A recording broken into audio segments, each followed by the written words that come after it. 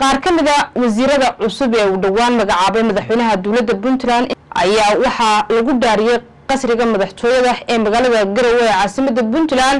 Waxaa dhaarintooda goobjoog ka ahaa madaxweynaha dowladda puntland mudane siciid cabdilaahi deni.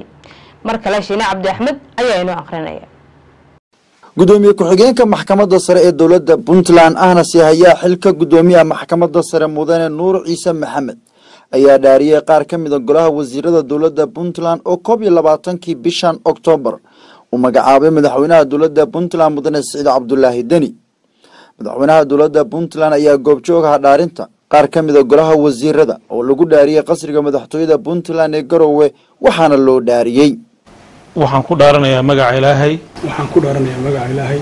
Inaan ku dhaqmo diinta islaamka. Inaan ku dhaqmo diinta islaamka. Dastuurka dowladda puntland iyo qawaaniintiisa dhowra dastuurka dowladda puntland iyo qawaamiintiisa dhowro. Xilka la ii dhiibay daacadnimo u guto. Xilka la ii dhiibana daacadnimo u guto. Dalka iyo dadkiisana lilaahi ugu adeego.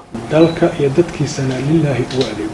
Xubnahani ka midka golaha wasiirada dowladda puntland ayaa ah mas'uuliyiin uu magacaabay madaxweynaha dowladda puntland kana mida golaha wasiirada. Shiine cabdi axmed warbaahinta dowladda puntland garowe